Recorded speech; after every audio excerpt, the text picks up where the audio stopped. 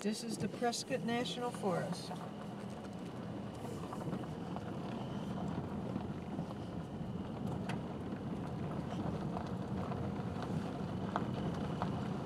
Looks like people come down here and camp by the river. A lot of old camping sites down there. I'm filming myself going over this bridge in eight super eight millimeter.